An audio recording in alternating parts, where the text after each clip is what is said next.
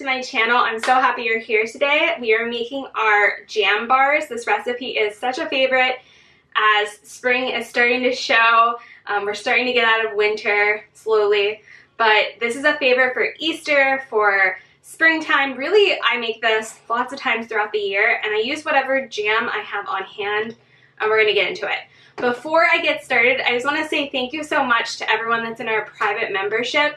If you're looking to help support what I do here on the channel, you've been enjoying the recipes, you want extra recipes, um, I have a private membership where I put out five recipes every month, plus give leave up a bunch of other recipes. There's always around 22 to 25 recipes total in there for you guys to access.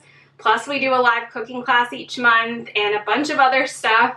Um, but it's a great way for you to help support what I do. So again, if you've loved our recipes, if you've been finding yourself coming back here, if you want to help support us, joining the membership is such a fantastic way and I just love that community so much. It's really the recipes I'm working on currently and then they take a couple months to come out here on the channel. So if you're uh, a lover of them and you want access to them early and want to help support what I do, it's right below for you. We're going to jump into today's recipe. I love this recipe because it's easy and also because it looks really, really gourmet. You can change up the flavoring. Like I said, today we're doing raspberry. We do apricot, whatever flavors I have on hand. I have a video on how to make jam. I will link up above. But really I just freeze a bunch and then you can thaw it and have it ready to go for this recipe. So this also is going to be on our Easter menu and I just love it. It's just, you'll see, it's really, really simple. You might have all the ingredients already on hand, which I love. So if you head over down below or to our website, you can print out the free printable PDF or the Microsoft document if you use like a recipe app and you need to copy and paste it. I have it all there for you on our website, totally free and available um, with grams, so that should be really helpful. So to get started, I like to use a 9 inch square silicone pan. You can play around with this with different pans that you might have. If you're not using silicone, you may want to line it with parchment paper as a heads up so it doesn't stick. Um, and it just will vary on the thickness of the kind of the crust part of this mixture. Um, I like this because this gives a nice kind of even layer and you get a lot out if you use a 9 inch square pan. This is also in our Amazon shop if you're interested in the exact one I have, which is linked below as well on our website. Um, lots of places to find it. So we're gonna get started. I have one and a half cup of oat flour. So you can get, you know, gluten-free oat flour, make it yourself, gluten-free oats, which is really nice to make this recipe totally gluten-free. I have one and a half cup of rolled oats, so it's one to one, really easy to remember. We're gonna do all the dry ingredients first. Just give that a little toss. I have one teaspoon of baking powder. Can add that in. Three-fourths cups of date sugar. Now, you don't want to use date paste for this because that's a wet ingredient and that will throw off the mixture. Um, we are using date sugar, which is granulated dates. So three-fourths cups. You could start off a little bit slower. I've done half a cup to up to three-fourths cups. This really depends on how sweet you like your bars. I think that this is a nice balance of sweetness. It's not like sickening sweet and it's not, um, and there's a little bit of sweetness. So this part you can kind of play around with with your taste buds. Start at three-fourths of a cup and kind of see. But don't use date paste. That would not work for this one. Needs to be granulated date sugar. All right, everything is tossed in. The jam we're gonna totally leave out until the one whole layer, so that's not really part of this ingredients, but now we're gonna add in the wet. So I have um, 3 fourths cups of applesauce unsweetened. This is gonna go in. See that and the date sugar help sweeten it, and then we're adding jam on top. So um, I think it's I think it's the perfect amount of sweetness. I also have one fourth of a cup of tahini. Now this is gonna add it to be creamy and delicious. Um, so I really like using tahini in a couple different surprising ways, and this is one of them. You have a jar of tahini in your fridge and you're not sure what to do with it. A little bit goes in this recipe. And then I just have uh, a teaspoon of vanilla extract or vanilla powder. All right, that's it for the base of this recipe. It is so easy. And we're just gonna take a moment and just mix in everything. This, this does take just a couple minutes, get a little arm workout. um, but you really want all of the flour from the oat flour and the rolled oats to really be, you know, coated. You don't want them dried powdered. So the next part after we've mixed this in for like a minute or so, um, you can you can do two different things. You can put the entire amount in a pan and press it down and then make your jam part just the top layer. That looks really beautiful. I most times will take out just a little bit of this mixture, maybe like one fourth of it, put it aside and then crumble it on top of the jam layer and then that looks really nice too. So that's really a personal preference. Um, I'm gonna crumble it for today. Most times I do that. But if you're not a fan of the crumbled toppings, you can just use the jam as your final top layer. And then you can cut these into bars or squares or whatever shape you want.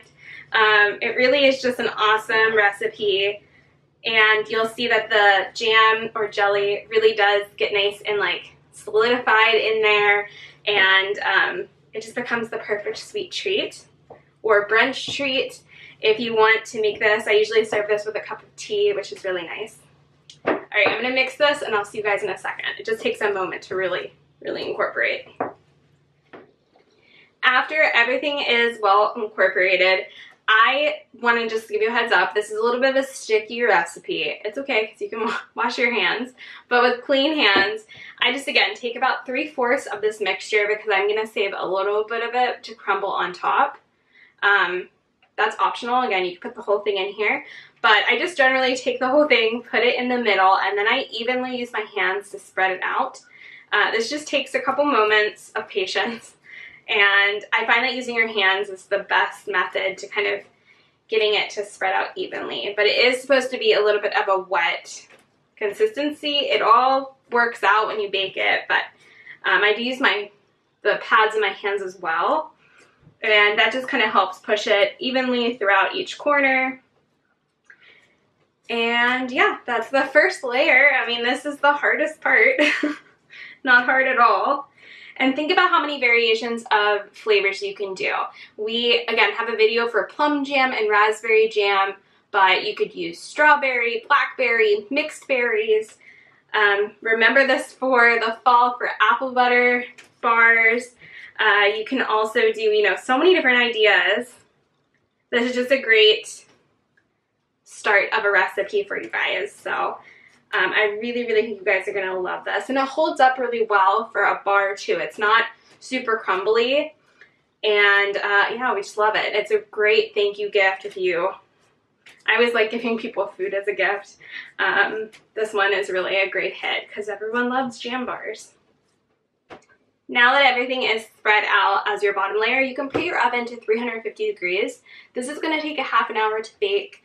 Um, doesn't take long, but you also have to let it cool completely before you cut them into bars, and you just want to let it sit and remove it from the oven. So that's a little keynote. So I have our jam here. Again, you can use any jam that you like, and you just want to evenly kind of spread it out as best as possible.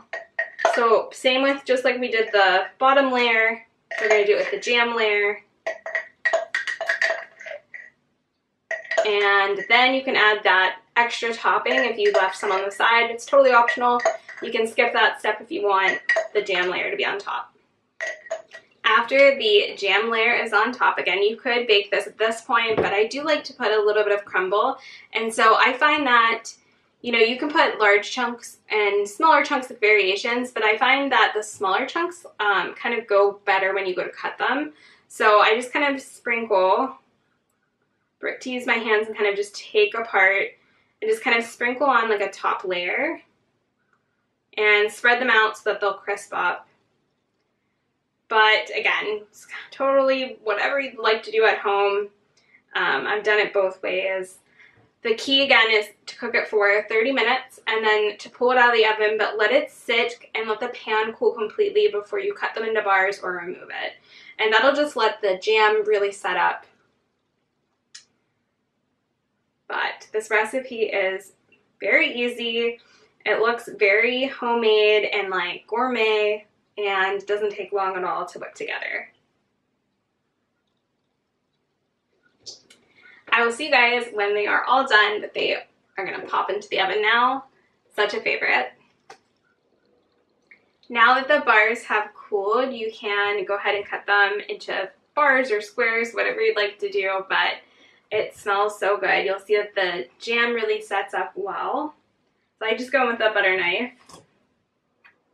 and just make my bar shapes.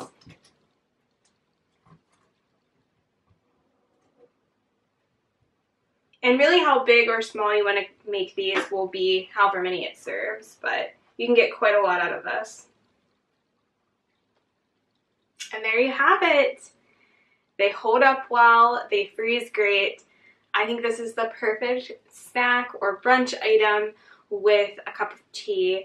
Perfect to have company over and to make for Easter coming up. I hope you guys enjoy this. So make sure you subscribe. Check out the membership down below. Remember, we are funded by viewers like you, and I really appreciate everyone that becomes a member so much to help me keep going with uh, this amazing project of making recipes and building our website and making plant-based accessible for everyone. So I will see you guys real soon in the next one. I hope you guys make this. Leave us a comment if you do, and I know it'll be a family hit. I'll see you guys later. Take a little bite. The perfect amount of sweetness. I hope you guys give it a try.